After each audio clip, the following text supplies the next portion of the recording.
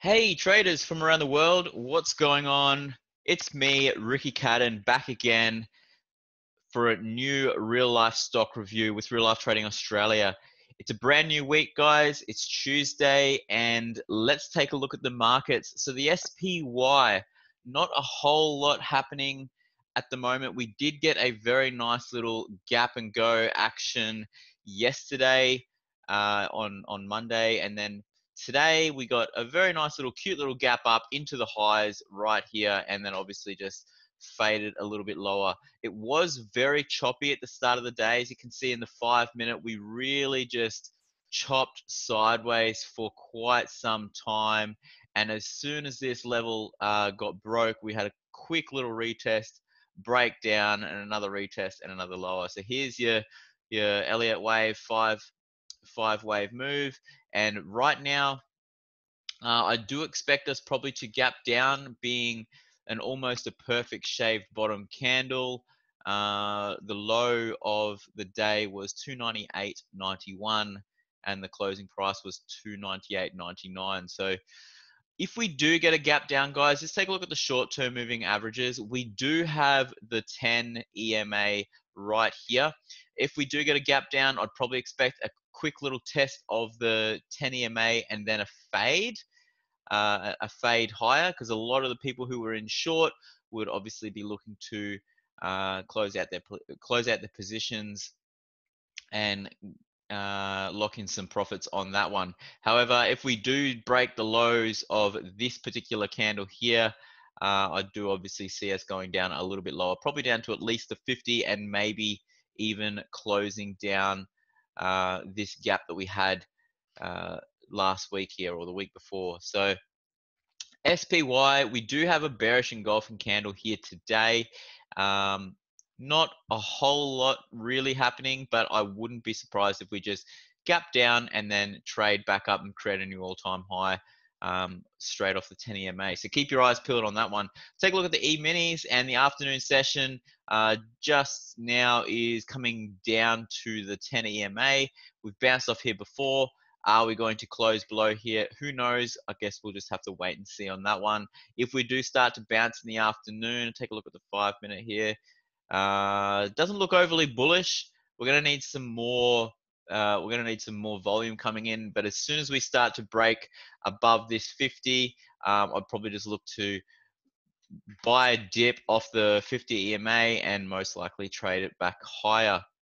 Let's take a look at the Qs, QQQ. Uh, very, very nice uh, little breakdown that we had here. Um, I was trying to take this short a few times last night, did get chopped around quite a bit, ended up losing uh, 1R on this. However, um, there was a very nice, there was a few very nice plays.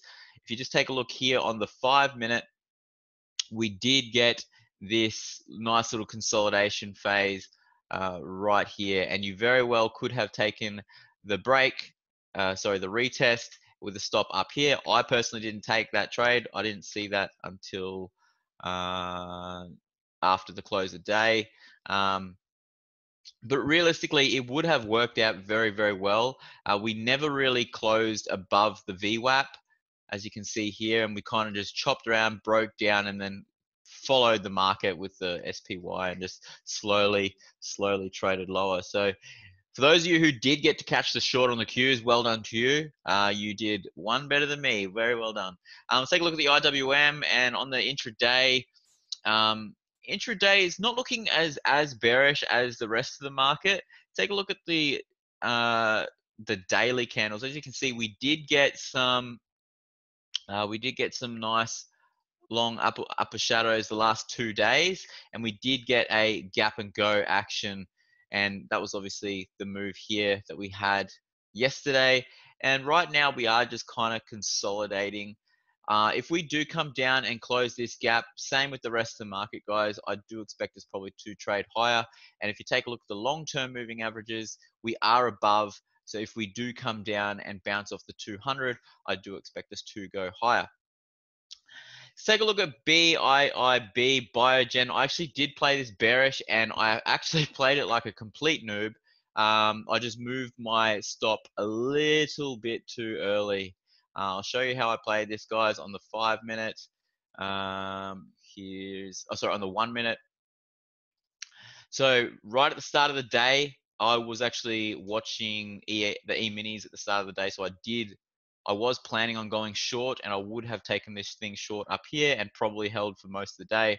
However, I didn't notice um, Biogen until this little flag pattern happened right here. So as soon as this happened, we had a nice little uh, retest of the 10 and I had my entry here with a stop uh, up here.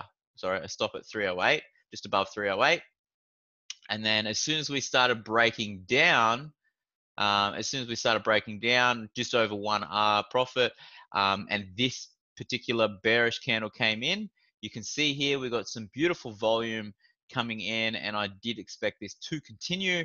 So I moved my stop from here to here. Um, and probably a very, very silly move on my part. Um, me just trying to lock in some gains. However, if I didn't move that stop, I would have capitalized on this complete uh, this complete move all the way down here. Would have been a very nice um, seven or eight hour trade. So it would have been very, very nice.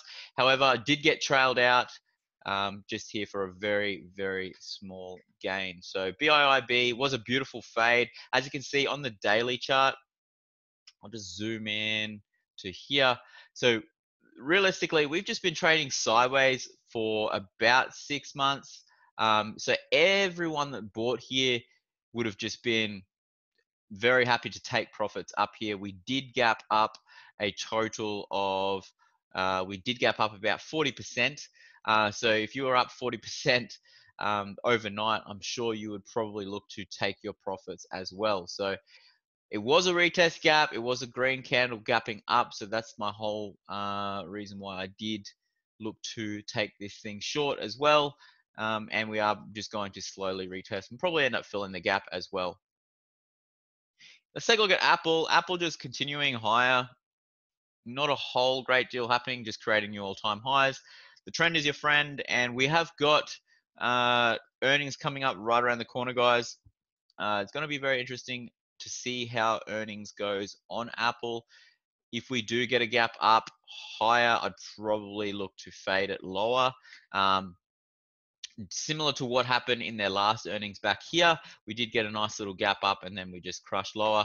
Um, however, if we do get a gap down, I do expect that to be a fade opportunity. So either gap, gap in either direction, I'd probably look to fade the gap on Apple. So Apple staying fairly bullish at the moment and not looking for any plays at the moment before earnings. Got a couple of requests uh, from Shannon uh, for BSX. Now, BSX, mate, I'll just have a look here on the long-term moving averages. You can see we have uh, we've closed below the 200, and now we've closed below the 200 a couple of times before. I get that.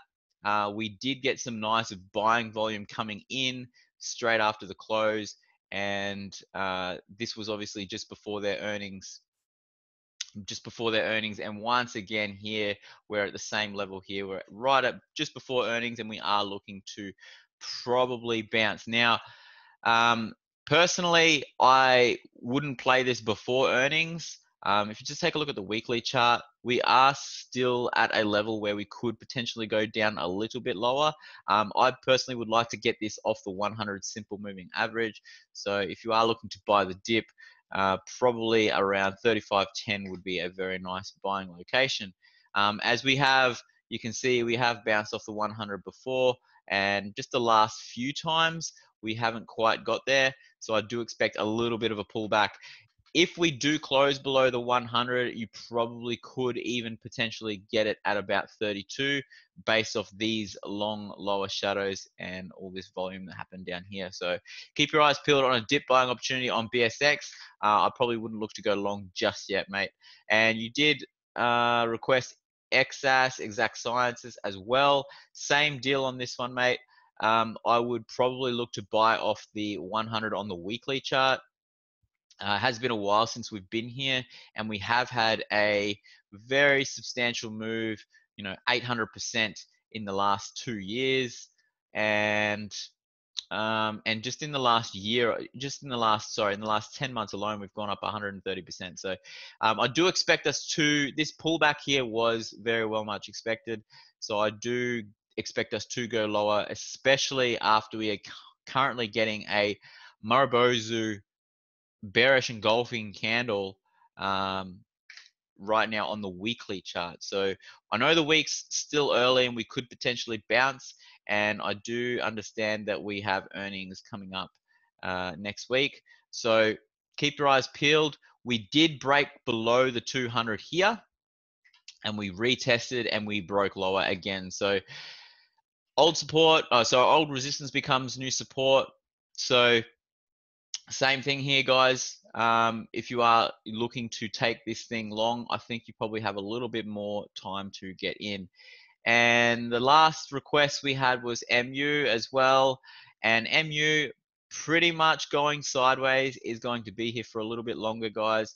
Uh, we are creating some new higher high uh, higher lows, which is good to see. Um, on the weekly chart, we currently have a cute little inside day bullish candle, and we are just sitting at the 100 simple moving average right now. So if we do get a close below, uh, so I'll just go to the daily chart. If we do get a close below this this bearish candle right here, which is going to coincide with the 100 simple, I'd probably expect us to come down to at least the 200, which is going to line up with these lows that we had back here, and then I'd expect uh, I'd expect MU then to go long. Um, but right now, I think we're most likely just going to chop sideways for a little bit longer. We do have uh, decreasing volume, so I don't think we're just going to just shoot out the park here and just launch higher. So keep that in mind, guys, especially along with the overall markets not looking super bullish at the moment.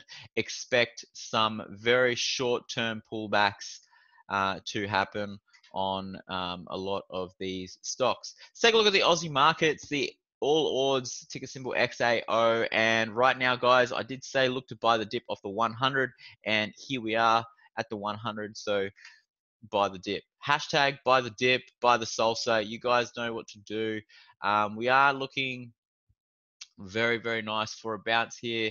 And I guess we just have to see how we transpire over the next couple of days. Looks good. Uh, let's take a look at the bank CBA, and I have been mentioning this was a buy the dip opportunity, um, and I also mentioned that this is going to chop sideways for a little while. So just look to sell high and buy low, guys. Buy that meaning lock in profits in the highs or maybe even sell some premium covered calls, whatever it is you do, whatever your strategy is. Um, just look to sell high and buy low. Um, CBA, not a lot happening. Probably just going to keep ranging here for probably a couple of months or so, maybe till the end of the year, and then we'll see what happens from then. BHP, and we are at a buy low, sell high location, guys. Right here, I did mention 35 was the level to buy. Um, if you are in, then well done. I probably expect us to just chop around here, like I said, for another six months. Um, just make sure you are locking in your gains. Just buy low, sell high on this one, guys. BHP, nothing to see here. Just keep printing money. APT, now I did mention back here um, on this candle, we are going lower and most likely we'll go back to the 100, which is going to be the buy the dip location.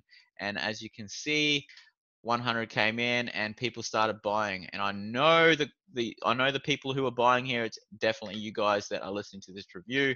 Um, so well done to you guys. You guys are moving the markets. Um, very well done. Most likely, I do expect us probably to chop around here for a little bit. It's to, it is not going to just launch out of here. So make sure you are patient um, and mitigate your risk. If you did just tiptoe in here and you're looking to add to your position, if we do get another lower low, obviously the 200 is going to be another level to add to your position and uh, increase that size because APT will go higher. And let's take a look at Xero, ticker symbol XRO beautiful gap down today, retest gap. And I did say uh, a while ago that we will most likely will consolidate sideways here for a while as we have had quite a bullish run up. We do have earnings coming up just around the corner at the start of November. So that will be very interesting to see how that plays out. If we do get a gap down, depending where we get a gap down to, I'd probably expect us to fade higher. Uh, we still are yet to fill this gap that we had. Sorry, fill this gap that we had back in May. And um, yeah, so if we do get a gap down, I probably do expect us to trade down to the 200, close this gap, and then most likely chop around a little bit and then fade higher over the next few months. So keep your eyes peeled on a buy the dip opportunity on Xero. Let's take a look at Altium, ticker symbol ALU, back at the 200 simple moving average, guys. I have said in the past, this is a very nice buying location. Um, if you are looking to buy, here is a nice level to start legging into some sort of position. Uh, now, I do expect this. Uh, we do have a uh, we do have a support here at $30. So if we do break lower, guys, which is entirely possible, we, we totally could break lower. Uh, just look to buy the dip probably off this previous high and this previous low, this previous low. We do have very nice volume supporting these particular trades. Um, and obviously, if we do close below here, then if we do get a strong close below here, sorry, I do expect us to fill this gap. And then obviously I would look to buy the dip probably around 28. So ticker symbol ALU is gearing up for a nice long opportunity. Let's take a look at some commodities. Let's take a look at gold. Now, gold is just doing what we've been talking about for quite some time, and that's absolutely nothing. Going sideways, staying in this uh, saying in this cute little triangle right now. And if you are looking to play gold, guys, you really need to play it on the hourly chart. I'll show you why. You're not going to see a whole lot of action here on the daily. You could potentially play it on the four hourly chart. That's totally fine. Probably going to get more opportunities on the one.